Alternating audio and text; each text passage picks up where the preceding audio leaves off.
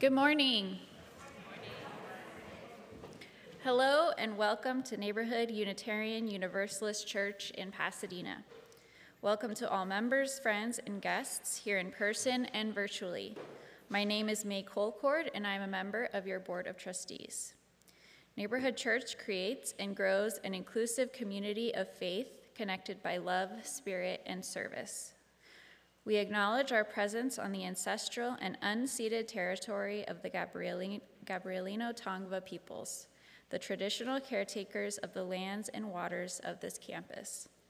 With respect for the rights and wisdom of Indigenous people, we acknowledge our harmful colonial histories and commit to decolonizing our own practices, to learning new ways of being in community, in good relationship with the Indigenous people of this land and with the land itself.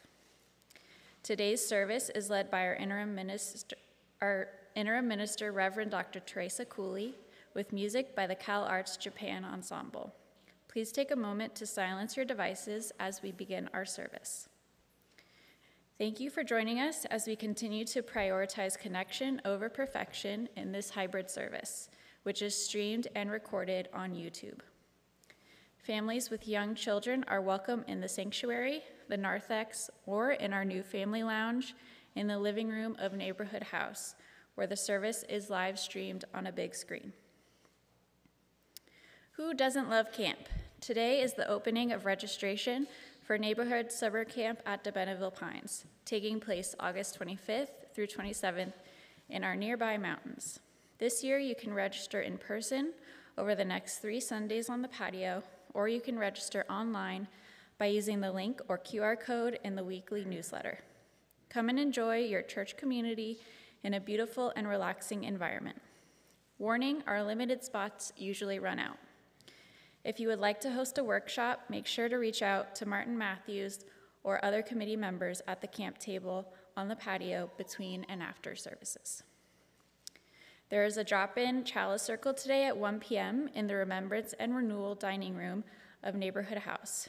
This is an opportunity to try out a small group discussion with spiritual themes. Visitors are welcome.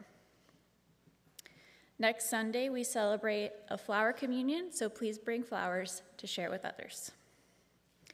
And finally, mark your calendars for our annual meeting on May 21st, where we'll vote on the new board officers and members, our budget, and two resolutions.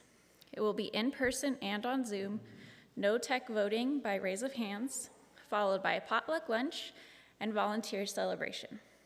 See the annual report emailed yesterday for the agenda and all materials.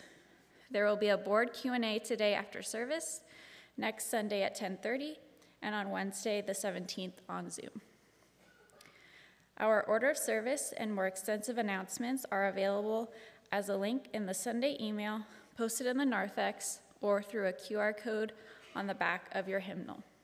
You can always get more information on these and many other activities at the welcome table. Again, welcome to Neighborhood Church, whoever you are and wherever you are on your spiritual journey. Welcome to this inclusive faith community connected by love, spirit, and service. And now I'd like to introduce Myrna Peterson to tell us about the Legacy Society. Myrna.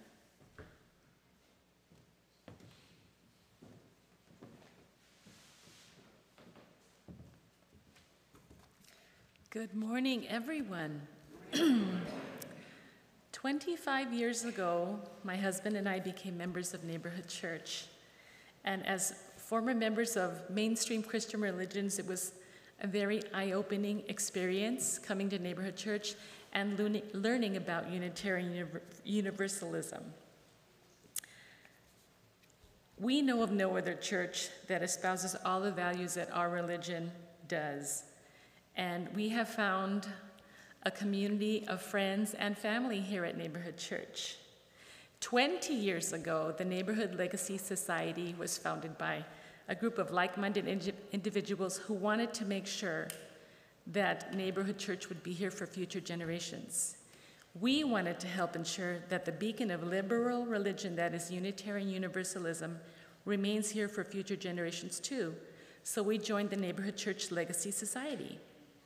The Neighborhood Legacy Society is made up of members who have made a commitment to build a long term, sustainable foundation that supports our faith community and our Unitarian Universalist ancestors' 200 year progressive mission by including Neighborhood Church in our wills and trusts. Legacy Society members are honored by having their name engraved on the Legacy Society, Society sculpture right outside the sanctuary. Information on how to join the Legacy Society can be found on our church website, and if you haven't seen the website, you should take a look at it. It's, it's nice now.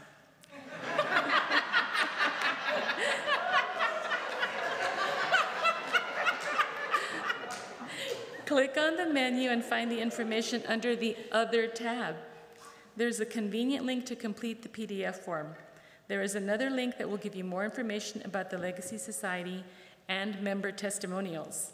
Help keep our liberal faith alive for future generations by joining the Legacy, Society. Thank you.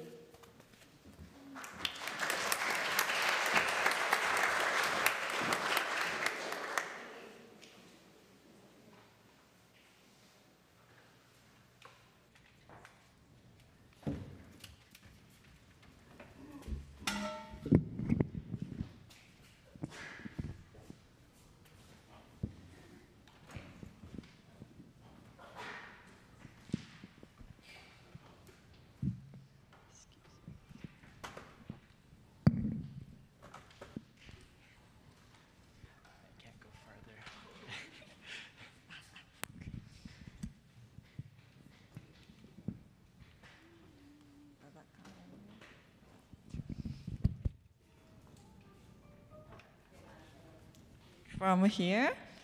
Hi, good morning, everyone.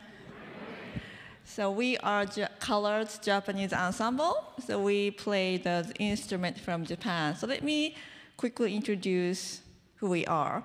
So we play. We are like you know the CalArts students, alumni, the community members who love Japanese music and want to learn those instruments. And then we worked so hard throughout the semester and throughout the year. And then we want to share some music from Japan here with you. And then quickly introduction, this instrument, long stringed instrument. This is called the koto, K-O-T-O, koto. And then this is the Japanese harp, so sounds like that. And then there, that's a three strings banjo like instrument. That's called the shamisen, like three strings. Let's try make sound. Uh-huh, something like that. And then there's a taiko drum with our wells. so that's how it sounds like. Okay, so uh, yes, as any other arts organization, we are having a difficulty financially. So if you have any friends or whoever who can support us, it's always welcome. But we are not here to do that. We are here to share music with you. So hope you enjoy it. Thank you.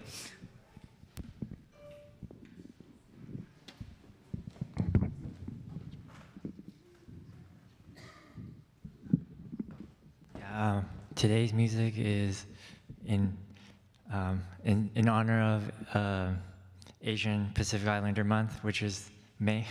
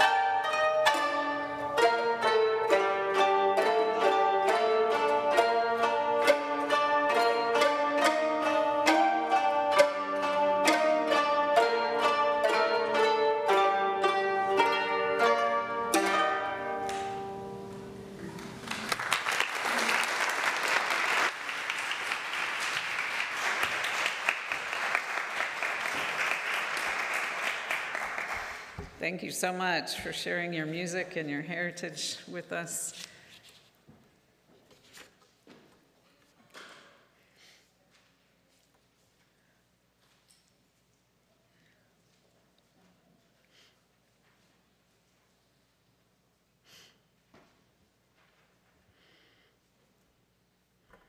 Vine and branch, we are connected in this world, this world of sound and echo, figure and shadow, the leaves contingent, roots pushing against earth.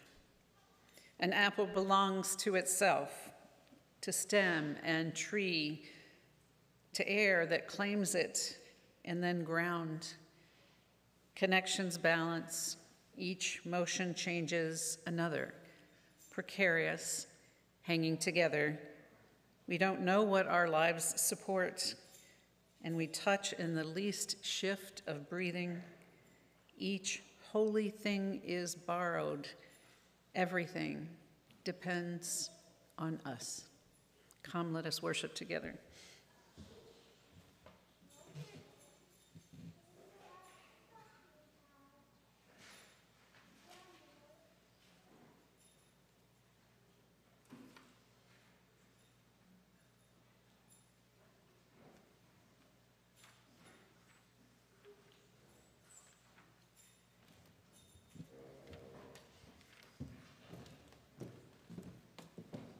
Our opening hymn is number 194 in your gray hymnal or on the screens above. Please rise in body or in spirit and join us in singing our opening hymn, number 194 Faith is a Forest.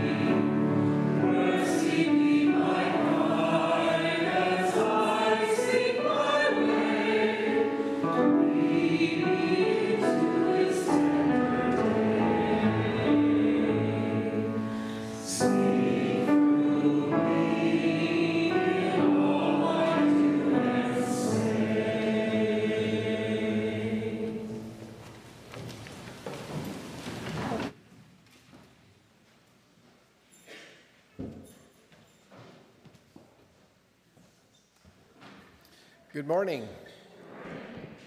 I'm Matt Vasco, Neighborhoods Director of Spiritual Exploration. It's a pleasure to be with you all this morning. So, this is time for all ages. And I have two things I want to talk about this morning. Um, I'm going to ask the children and youth to please stay in your seats because we have all these beautiful instruments up here, and there's just not enough room to sit up front this morning.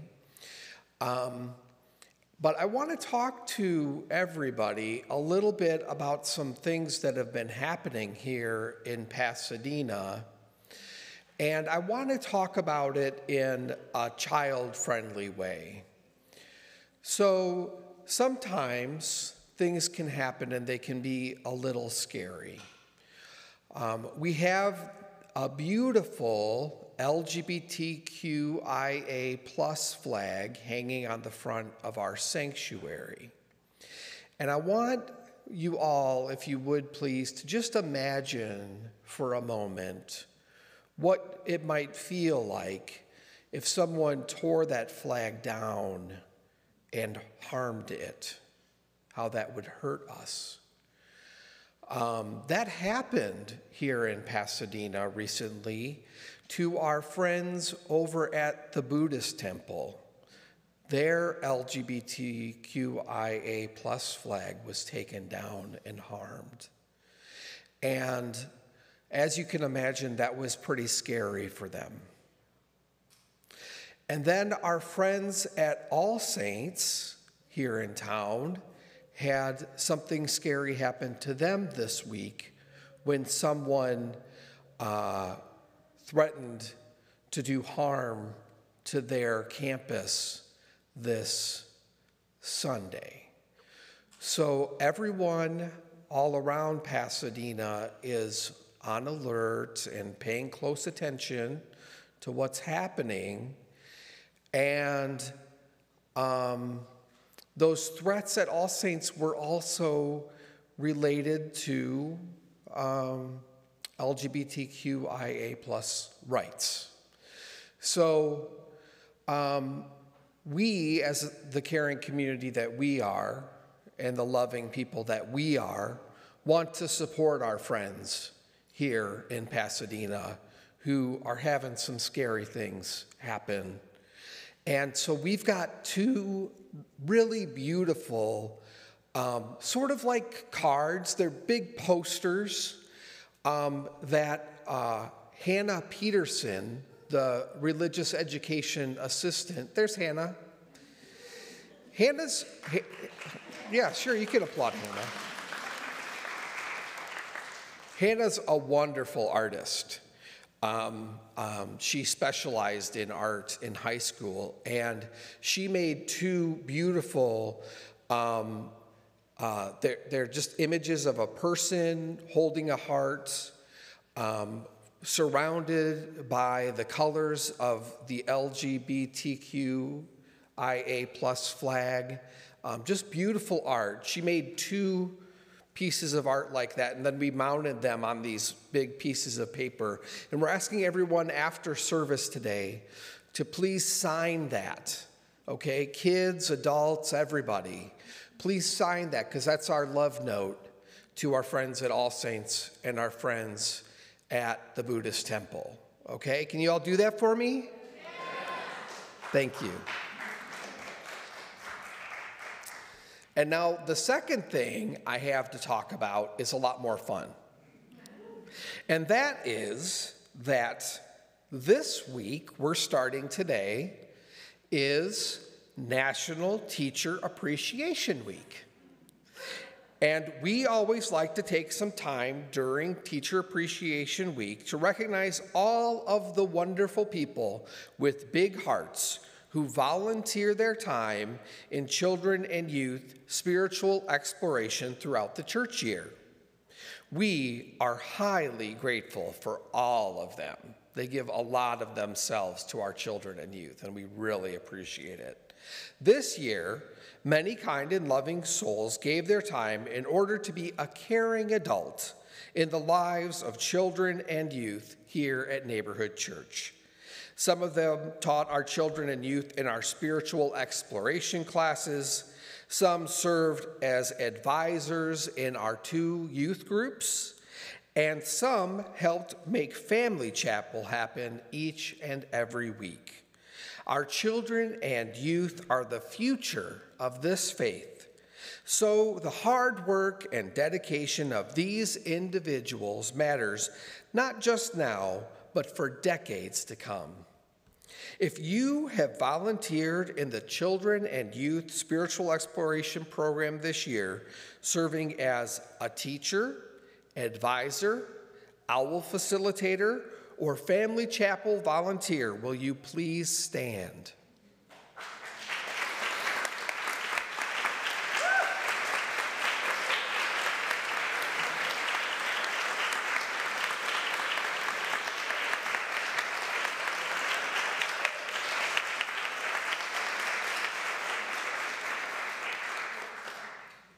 Thank you all for your work and dedication. It means the world to us.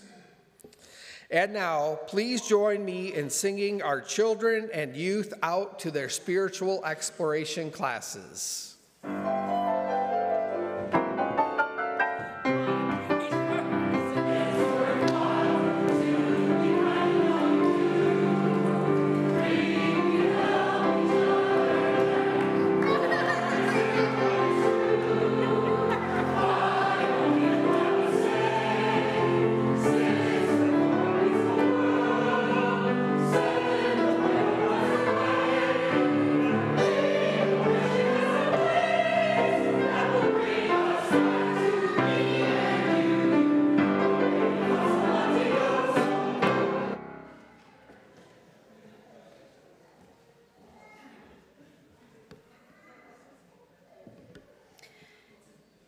A spiritual practice through which we put our values into action.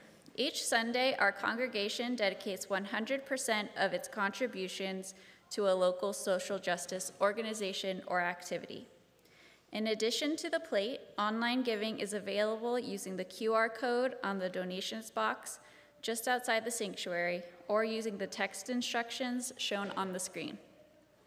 If you wish to make a payment toward your pledge or contribute to church operations, make a note in the subject line or use an envelope available at the donation box. This week, our gifts go to the Los Angeles Education Corps. Here to tell us more is Lexi Schweed. Lexi?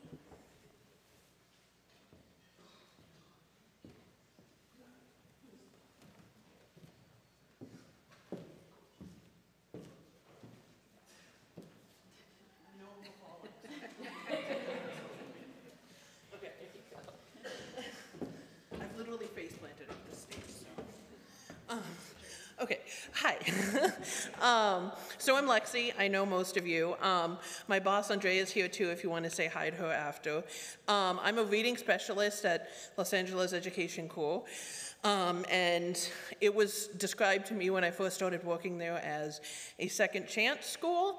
Um, a lot of our students, we have traditional age high schools and adult high schools, um, you know, have maybe dropped out and dropped back in. They've had different, you know, life difficulties.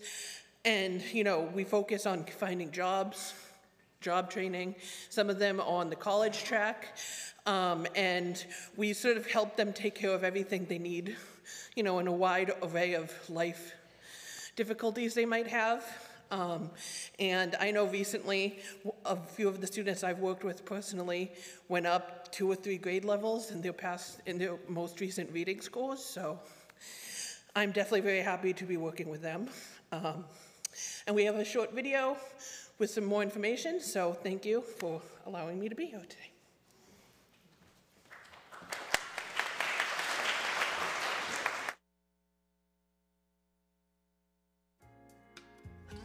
Hi, uh, my name is Araceli Rojas. I am the post-secondary transition director for the Los Angeles Education Corps. And um, first and foremost, I wanted to thank every single one of you for your donation.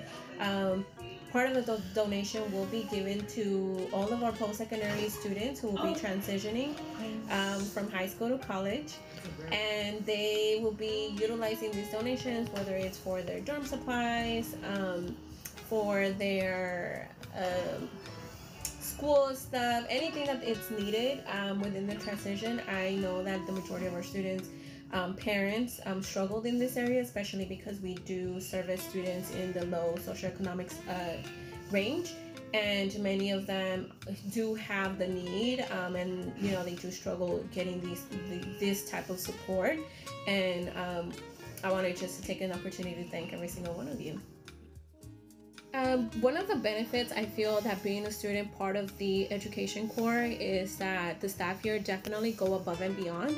I never in a thousand years thought that I would have graduated from college. I am the second oldest out of eight children. I did become the first one in my family to transition to a four year, and every other sibling after me has definitely transitioned into a four year as well. Um, and I think that it part of the mission within LAEC is definitely um, changing people's lives and generations to come and that's definitely where it started i mean i went through a lot of different schools prior to coming here and never once did i see myself going into college. And the support um, the guidance the mentorship that i receive and continue to receive um, definitely is uh, one of a kind um, and when I mean they guided me through everything from the beginning to the end, and it doesn't stop once I graduated high school, it definitely continued um, after I graduated college. So the ongoing support is always there. It's not like we're no longer a student, we're on our own. We're there. There's still definitely that support, and what a better way than um, to now serve back and give back to to my students because I always reflect back of how it was when I was a student and let's continue improving let's continue um, getting better. And you know all the students by far have never said like oh it's a terrible program or anything like that. All of our students come back um, younger siblings come back and i feel that that's definitely the purpose that we want to continue to improve not just within families but also within generations. Hey everyone, my name is Noel Rowda Trout. I'm the CEO slash van driver for College Bridge Academy and the Education Corps. Um, I've been working here since 1996, and um, I still love coming to work every day. Um, why? Because we have a holistic program here that'll um, provide education for young people, employment, counseling, just try to kind of meet all their needs. Um, these are second chance students that uh, the regular high school wasn't working for, so we try to make something different that does work for them. Uh, one of the things I really enjoy about this organization too is the opportunity to take kids and kind of get them out of the inner city and um, experience nature. In fact, at the end of this month, we're going to be taking 40 students on a river rafting trip up on the Kern River. So it's things like that that uh, the students remember. I know they're not going to remember my lesson plan on split infinitives in English and all those other exciting things that we put together, but they'll, they'll remember those experiences, and those are equally important. So, anyways, thank you for uh, being taking an interest in our organization and our students. Hi, my name is Tisha Middleton, and I am the Chief Academic Officer. I handle most of the programming and the day to day at the school sites. What makes our school site special? Well, we love our babies, and they've come from all different places, and they come broken, but um, we meet them where they are, and when they leave us, they have a lot more confidence in themselves. They're prepared to meet the world. They um, have experienced some things. They do trips with us. Um, they don't have to pay. Like everything is taken care of by the school, and yeah, we love them.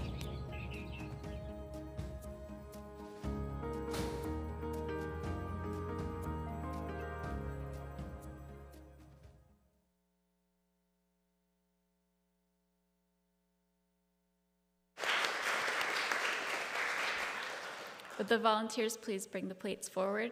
Thank you for giving generously.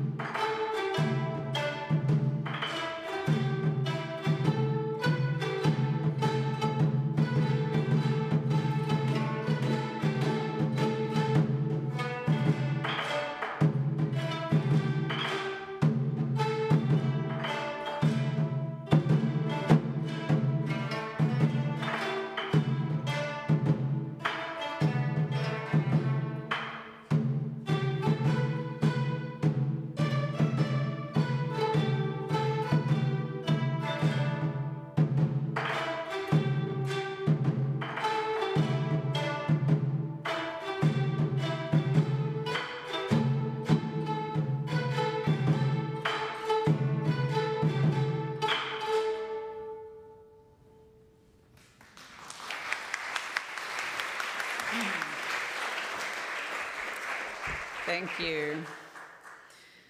As Matt said, it's just been so difficult to confront the hatred that has been inflicted on our siblings in faith at All Saints and at the Buddhist temple. So we hold them in our hearts, and our love and care will help see them through this difficult time. Let us join in prayer. Because we want this country to be different, we will keep turning the earth, holding spade and plow for each other when we need to rest. Because we want something new to live, we will keep creating gardens, art, poetry, children. Because we want their voices to be remembered, we will keep telling their stories, even after they were disbelieved, mocked, or cut out of the book. Because we believe that goodness prevails, we will rest our ear on the ground and listen to creation's holy buzz and sigh with the completeness of it. Because we believe in the clarity of our purpose, the drivenness of our hope, and the beauty between us, we will continue.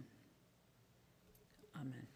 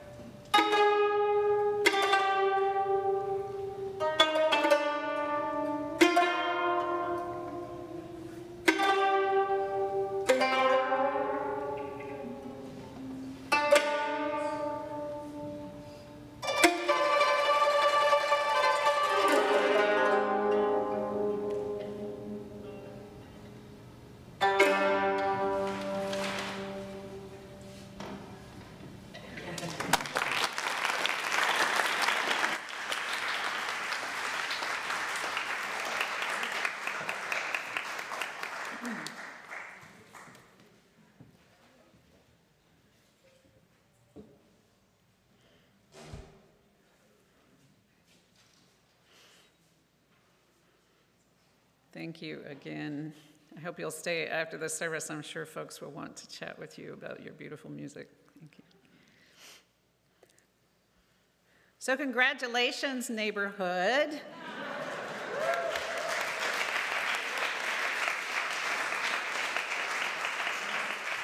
You have just called a wonderful new minister. I have no doubt that Reverend Omega will help lead you into a vital and a meaningful future. There's no more gratifying feeling for an interim minister than knowing that the congregation you have grown to love is in very good hands. I watched her final service and the meeting after, and what really struck me was how much you were cheering her on how much you clearly want her to be successful, and hopefully wanting to pitch in as well to help make everyone succeed in this wonderful religious community. And I also know it will not be seamless or perfect when she begins, or really ever. She and you will hit potholes on the path to come to borrow the metaphor that she used in her last service, you will realize you've packed the wrong things for the journey. Or too much that is irrelevant and weighing you down. This is inevitable and normal and even, in a way, reassuring. Because if you feel things are going perfectly, you're not really learning and growing in the way that will be important for you to do. I spent the last week at our traditional transitional ministers meeting, in which we talked about how to process the changes that congregations have gone through in the last few years.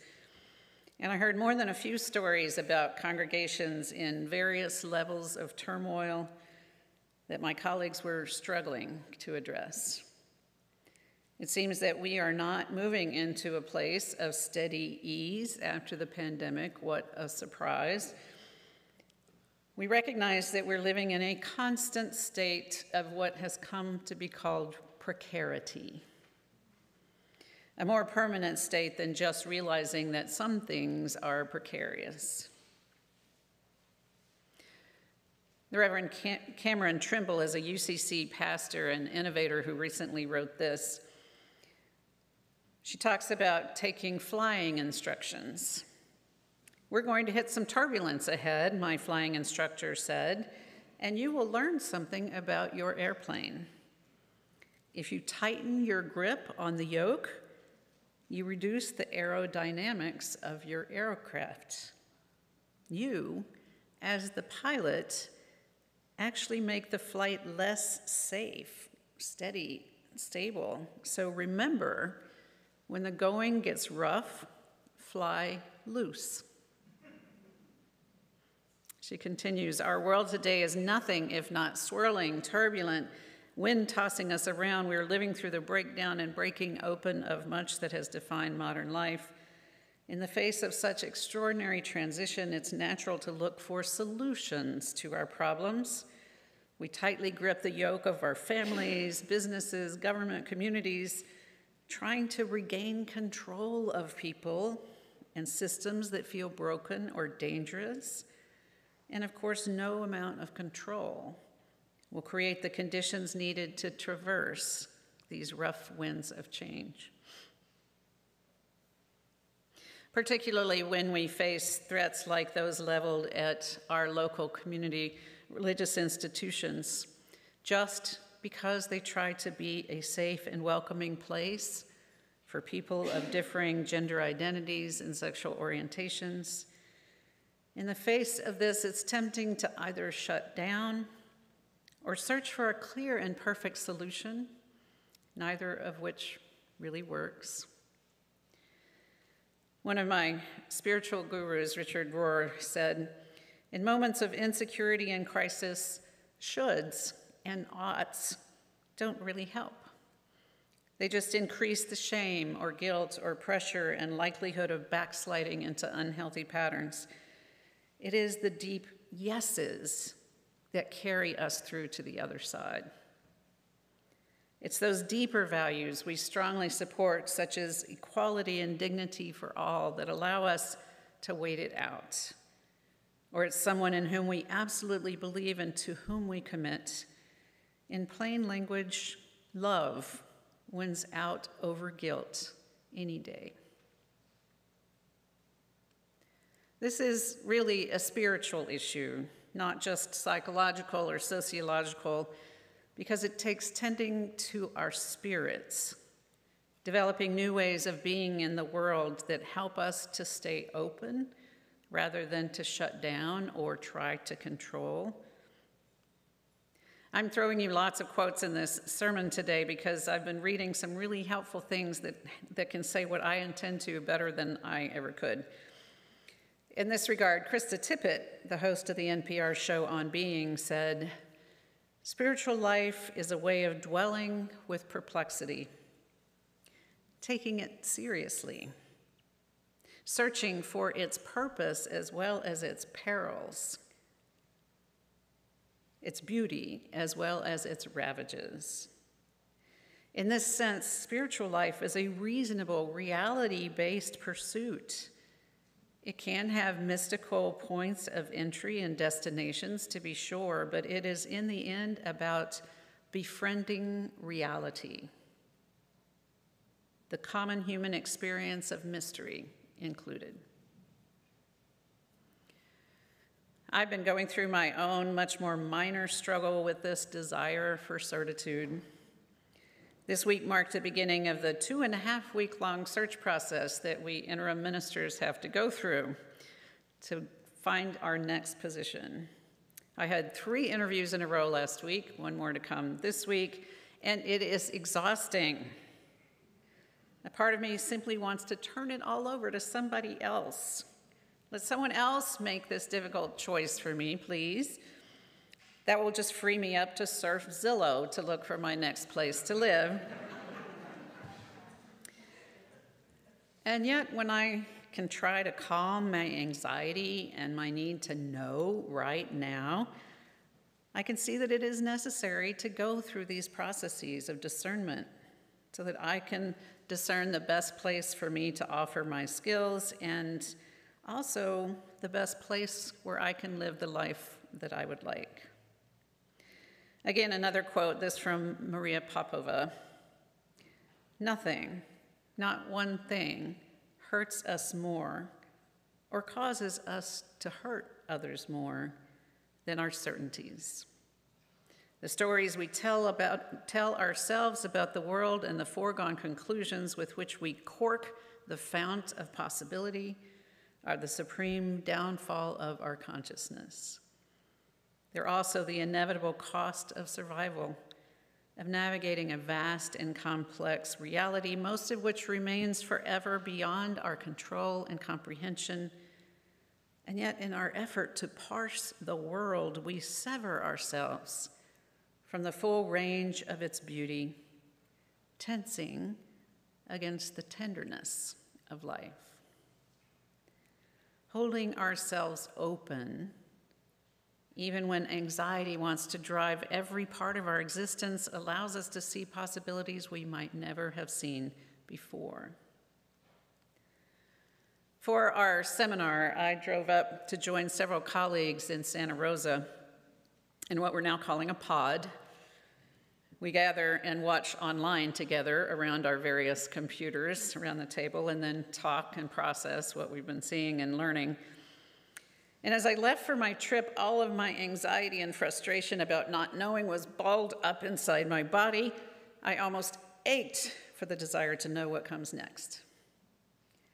But as I drove up the beautiful California coastline, I could feel myself unspooling. Walking along ocean paths, taking picture to try to capture the beauty that surrounded me, I started to feel like I could breathe again. There was nothing in this environment that offered me any solutions for what was coming next. Instead, I could lose myself in something much more boundless than my need to know. And as I spent time with colleagues, some very dear friends who've known me for a long time, I could start exploring options that I hadn't before considered because I felt wrapped in their love. I am hyper conscious that the distress I was feeling was in a position of privilege.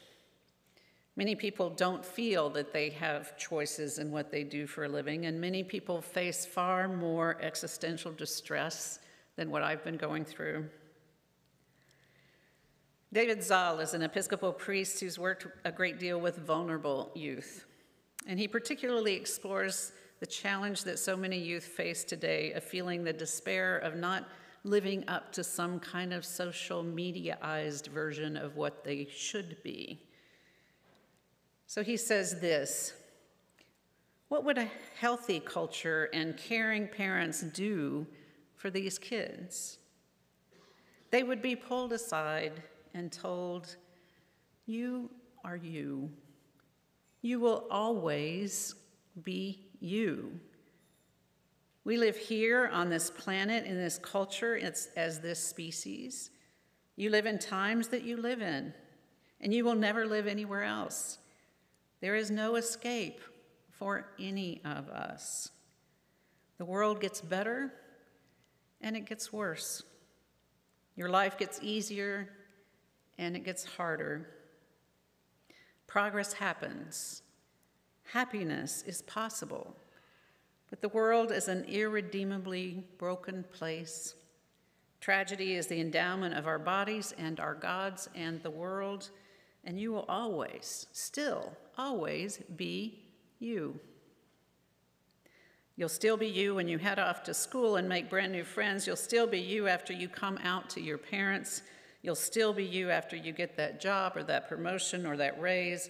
And you'll still be you after you lose all of those things. You'll still be you after you fall in love, and you'll still be you after the AI revolution or the socialist revolution or the love revolution or any other revolution. The only sensible path forward is to learn to accept the brokenness of human life, to develop resilience in the face of its petty cruelties, and to learn to live with yourself. Advice that is helpful, I think, for any of us, not just youth. For the last few years, I've been collecting advice from a variety of sources about what helps us be more resilient in the face of ongoing and seemingly permanent distress. So I'll summarize just a few things I've heard, particularly from Lucy Hone, an expert on resilience. First of all, we have to accept that suffering is a part of human existence. It always has been, always will be. In the past, we probably found various ways to avoid that reality, but it always catches up with us. The question of why me is a pretty useless one. What do I need to face is far more important. Another point is that greater resilience can be found when we force ourselves to, attend, to focus on what we can change, what opportunities may lie before us, the things we have no control over, perhaps, but there are some things we can do. These include trying to attend to the positive rather than the ever present negative our brains are actually hardwired to pay closer attention to danger and negative things, but we can overcome that predilection and consciously choose to see the beauty and the life giving things that surround us all the time. And third, we can be more conscious of the effects of our decisions. We can ask ourselves Am I choosing something that is life giving and healthy for me?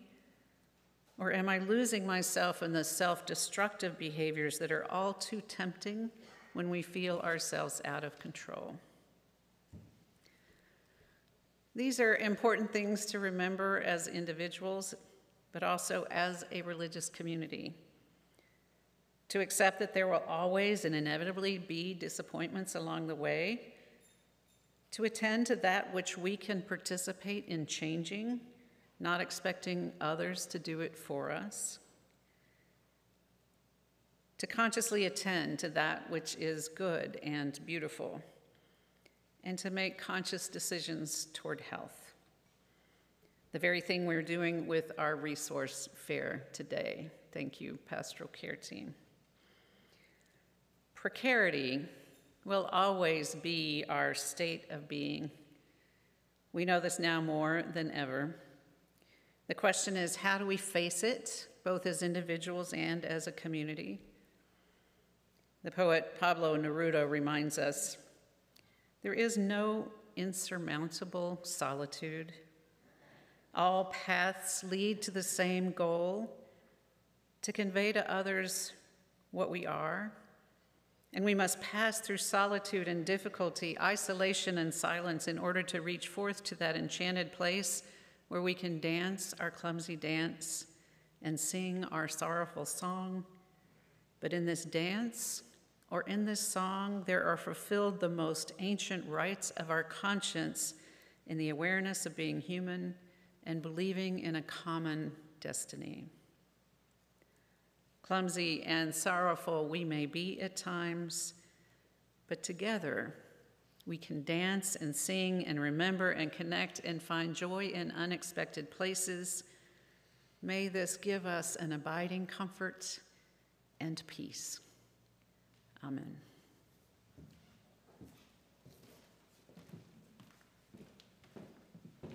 Our closing hymn is number 182 in the gray hymnal or on the screens above. Please rise in body or in spirit and join us in singing number 182, Oh, the Beauty in a Life.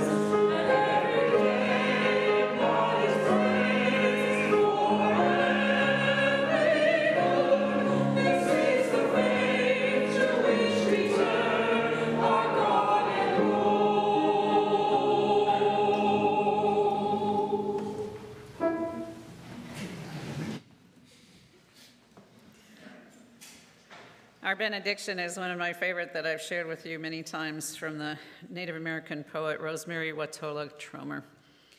Over and over, we break open. We break and we break and we open.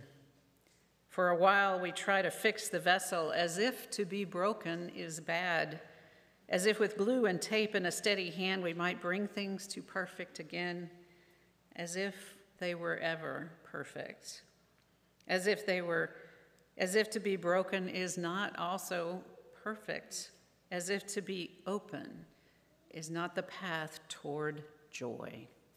Amen. Go in peace.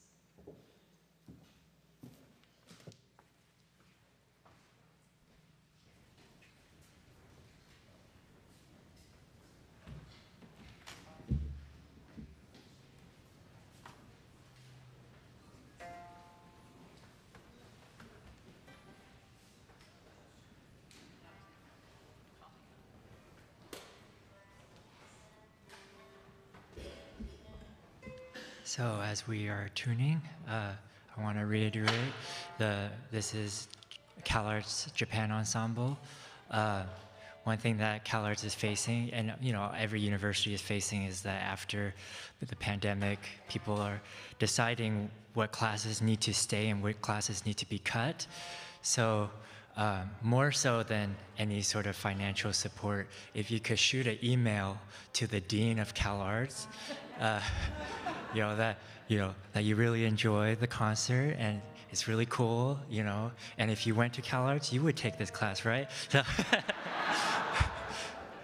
uh, so yeah, I mean, any and the music dean or the the actual dean or the president, you know. And I definitely see alum in the in the audience. I think you would have a lot of say in this. Uh, thank you. Uh, we're going to play Tonari no Totoro. It's, it's from the movie My Neighbor Totoro, if you know that. So uh, thank you all.